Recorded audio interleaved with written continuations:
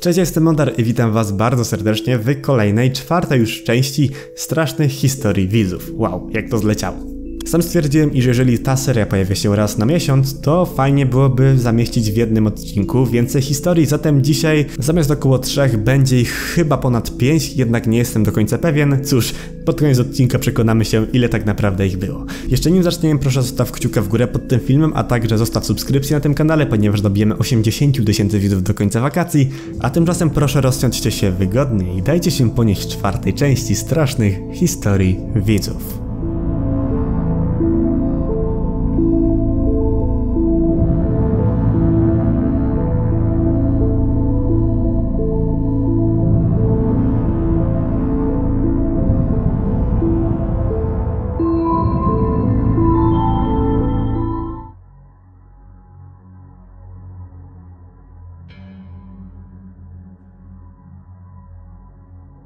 Zaczynamy od dwuczęściowej historii napisanej na moim Discordzie autorstwa Edny. Część pierwsza. Kiedy moja mama była jeszcze małą dziewczynką, pojechała razem z jej rodzicami na wakacje. Jako ich miejsce wybrali usytuowane nieopodal jeziora pole namiotowe. Gdy dojechali, ich oczom ukazała się niewielka, urokliwa polana ukryta wśród gęsto rosnących wysokich drzew. Mamie z początku niezbyt się podobało, nie lubiła tak odludnych miejsc. Na szczęście w jednym z kilku rozstawionych namiotów mieszkała jej rówieśniczka, z którą szybko się polubiła.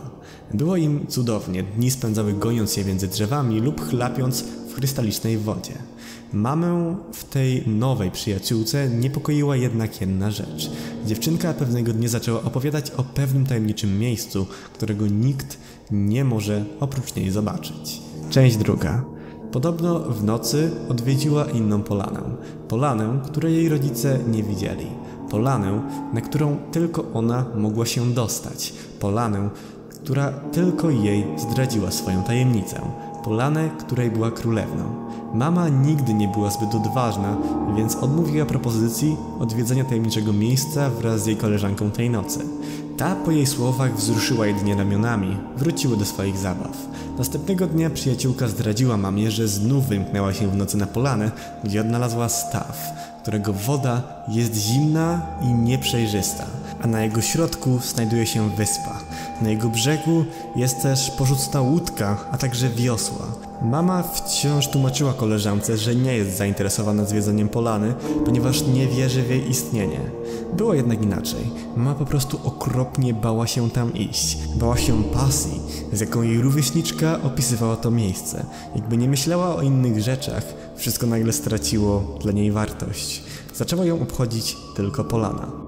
Wow, powiem szczerze, że jest to chyba jedna z najlepszych historii, jakie kiedykolwiek od was dostałem i wow, dziękuję naprawdę i szczerze jestem mega zaciekawiony na trzecią część. Być może pojawi się w kolejnej części tej serii. Ja bardzo dziękuję za napisanie historii, no i cóż, lecimy dalej.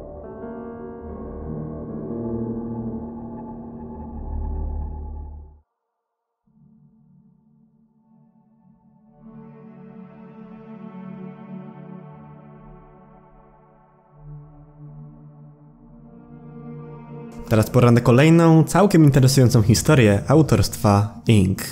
Wydarzyło się to dwa dni temu. Było około trzeciej w nocy, a ja kładłam się spać. Szybko się ogarnęłam i położyłam do łóżka. Po chwili poczułam dziwny niepokój, jakby ktoś patrzył na mnie. Odwróciłam się w drugą stronę i próbowałam zasnąć, jednak to uczucie nie ustawało, a wręcz narastało. Po chwili usłyszałam ciche dyszenie u mnie pod łóżkiem. Jako już jest piętrowe, dolny materac został zdjęty, a puste miejsce prawie całe zasłonięte.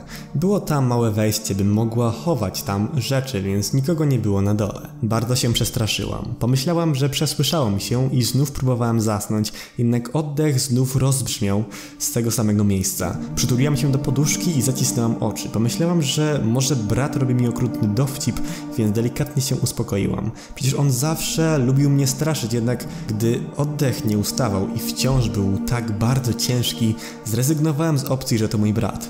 On nie siedziałby cicho przez tyle czasu. Jakby to był on, wyskoczyłby z podłóżka w jakiejś szkaradnej masce krzycząc. Zestresowałem się i zaczęłam myśleć, co robić. Pomyślałam, że może chwilę poczekam i zeskoczę z łóżka na krzesło, które stało obok drzwi, a zarazem pod włącznikiem światła. Poczekałem kilka minut i wdrożyłam plan w życie. Zeskoczyłam z łóżka, szybko otworzyłam drzwi i wybiegłam z pokoju do pokoju brata. Wbiegłam do środka, a on robił coś na telefonie.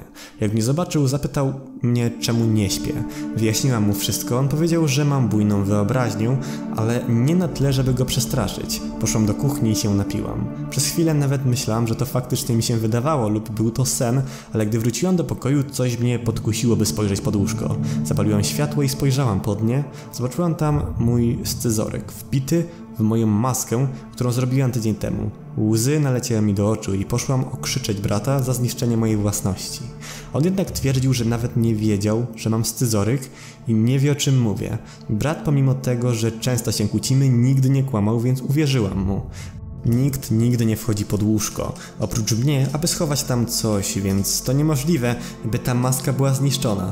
Tej nocy tak się bałam, że spałam z zapalonym światłem. I myślałam, co takiego mogło zniszczyć tę maskę. Ink, bardzo dziękuję za napisanie historii, mi naprawdę bardzo się podobała, a co wy o niej sądzicie, dajcie koniecznie znać w komentarzach na dole.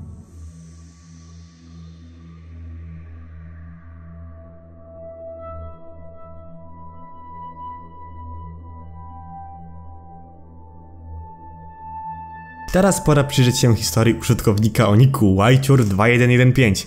Pamiętaj, żeby odstawić pracę i żeby był zachód słońca z tobą. Mam koło szkoły taki las. Nikt tam nie może wchodzić, bo kilkanaście lat temu wykoleił się tam pociąg z jakimiś radioaktywnymi rzeczami. Na szczęście jest tam małe skażenie, ale i tak policja zakazała tam wchodzić, jak i dyrektor. W szkole mieliśmy też szkolnych chuliganów. Byli z liceum, dokuczali wszystkim, aż pewnego czasu gonili jednego mojego kolegę, a ten pobiegł w głąb tego lasu. Podobno widział on jakąś humanoidalną postać.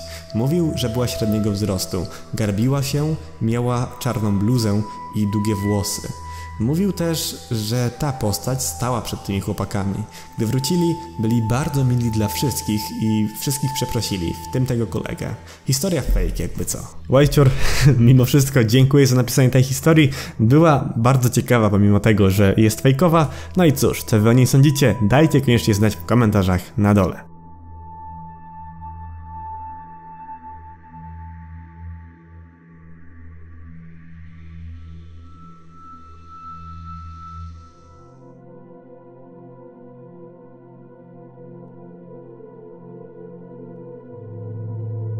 A teraz rzucimy okiem na historię Paevello 734. Cześć! Dziś chciałem przedstawić Wam, moi mili, moją dość dziwną historię, która przytrafiła mi się około 2-3 lata temu. Pewnie wielu z Was uznają za zmyśloną, ale czy na pewno tak jest? Było ciepłe, lipcowe popołudnie. Razem z kilkoma kolegami, Frankiem, Oliwierem i Bonifacym, weszliśmy po obiedzie na dwór na rowery. Było dość ciepło, a u nas w mieście nie ma dużo cienia, więc postanowiliśmy, że pójdziemy sobie na wycieczkę do lasu, bo czemu by nie?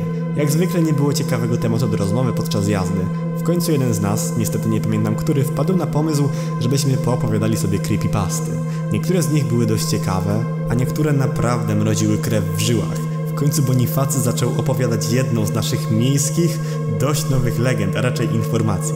Dotyczyła ona pewnego mordercy, Ryszarda P., który niedawno zamordował kilkuletnie dziecko. Dotychczas go nie odnaleziono. Ponoć miał on ukryć się w naszych lasach, ponieważ znał on bardzo dobrze te tereny. Przyjaciel powiedział również, że sprawę umorzono z powodu braku większych dowodów. Oczywiście trochę sobie pośmieszkowaliśmy z tego, bo wydawało się nieprawdziwe, jednak byliśmy w dużym błędzie, o czym przekonaliśmy się później. Po 30-minutowej jeździe dojechaliśmy do małej wioseczki liczącej kilka domów. Jeden z nich był opuszczony. Był kamienny, nieotynkowany, miał wybite szyby. Wyglądał trochę jak taki opuszczony bunkier. Postanowiliśmy, że w ramach odpoczynku zatrzymamy się obok niego. Bardzo nas kusiło, żeby do niego wejść. W końcu Oliwier się zdecydował, więc żeby nie szedł sam, ja i Bonifacy poszliśmy razem z nim. Franek popilnował rowerów. Budynek w środku był dziwny, zaśmiecony i nie najładniej tam pachniało. Na ścianach były narysowane rasistowskie znaki, był też napis Follow Me. Niestety nie wiedzieliśmy co to znaczy, bo byliśmy trochę zbyt głupi, a zasięg był słaby. Zacząłem się domyślać o co chodzi, zaniepokoiłem się i powiedziałem o tym kolegom, jednak oni podtrzymali mnie na duchu, więc się uspokoiłem. Nagle usłyszeliśmy szmer. Zaczęły poruszać się krzaki, jakby ktoś tam był. W końcu postać ukazała się. Był to wysoki mężczyzna ubrany w jakieś łachmany, a w ręce trzymający narzędzie z ostrzem na kształt topora. Zagradzał on nam drogę ucieczki, więc nie mieliśmy jak uciec. On się tylko gapił, jednak obok było okno, więc szybko do niego podbiegliśmy i próbowaliśmy wyjść. W końcu mężczyzna odezwał się, powiedział Zmykajcie są dzieciaki, bo nie ręczę za siebie. Chyba coś w tym stylu. Udało nam się wyjść, byliśmy bardzo spoceni, a nasze serca biły bardzo mocno. Wsiedliśmy na rowery i odjechaliśmy najszybciej jak tylko się dało. Nigdy już tam nie wróciliśmy. Pewello, bardzo dziękuję za napisanie historii. Co wy o niej sądzicie? Dajcie koniecznie znać w komentarzach na dole.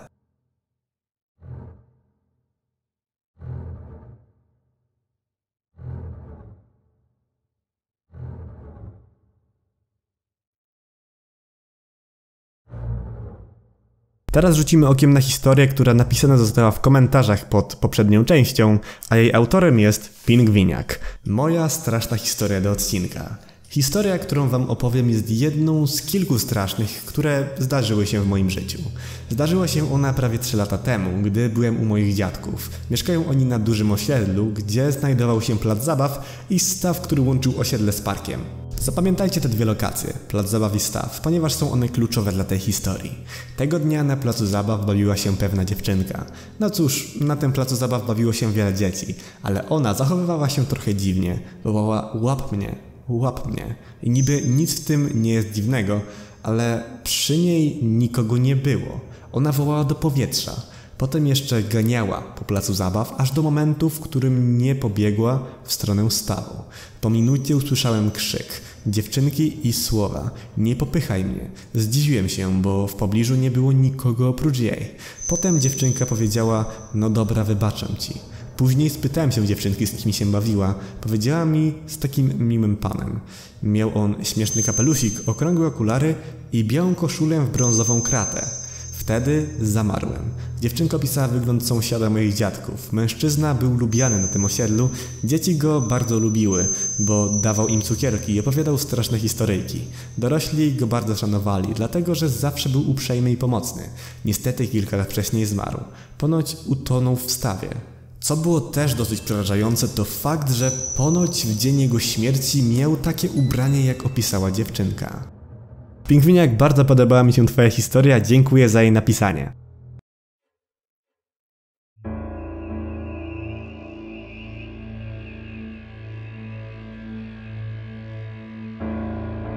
Historia Kamila. Były to moje urodziny, rok temu, które są 26 października. Postanowiłem, że spędzę je sam razem z moim kolegą. Koło godziny 20 wyszliśmy na dwór i pojechaliśmy na rowerach do naszej miejscówki. Jak coś, to ta miejscówka to taki opuszczony szpital czy coś, która jest oddalona od mojego domu o 2 km. Wziąłem ze sobą tabliczkę Ouija, którą dostałem od mojej babci na 9 urodziny. Teraz mam 14 lat. Postanowiliśmy dla zabawy tego użyć. Zaczęliśmy wzywać mojego zmarłego dziadka. Po kilkunastu minutach powiedziałem, że to nie działa, jednak wtedy wskaźnik się poruszył. Obydwoje wystraszeni, w dalszym ciągu nie oderwaliśmy palcy. Zadałem pytanie, czy to mój dziadek, jednak odpowiedź brzmiała nie. Wystraszony zadałem kolejne pytanie, czy jesteś z piekła, czy z nieba? Jeśli z piekła, odpowiedz tak, jeśli z nieba, odpowiedz nie. Wtedy wskaźnik z dużą prędkością wskazał na tak. Mój kolega, który miał wtedy 12 lat, przestraszył się do tego stopnia, że zaczęły mu lecieć łzy. Zadałem ostatnie pytanie, czy zrobi nam krzywdę. Odpowiedź brzmiała Uciekajcie, szybko, on idzie. Wskaźnik poruszał się tak szybko, że ledwo to przeczytaliśmy. Postanowiliśmy się szybko pożegnać. Na szczęście przyszło to nam z łatwością. Szybko uciekliśmy i wróciliśmy do domu. Nikt nam nie uwierzył, oprócz mojej babci, która powiedziała: Ten, z którym rozmawialiście, uratował wam życie. Któż wie, co chciało zrobić wam, to, co miało nadejść. Mój kolega wtedy spał u mnie, bo bał się wracać do domu, który był od mojego oddalony o 2-3 km. Jednak nie przestaliśmy używać Ouija i chodzić na naszą miejscówkę.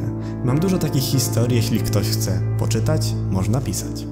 Kamil, bardzo dziękuję za napisanie historii i cóż, jeżeli chciałbyś pojawić się w kolejnych częściach, to śmiało, możesz napisać ich więcej. Ja bardzo chętnie je przeczytam.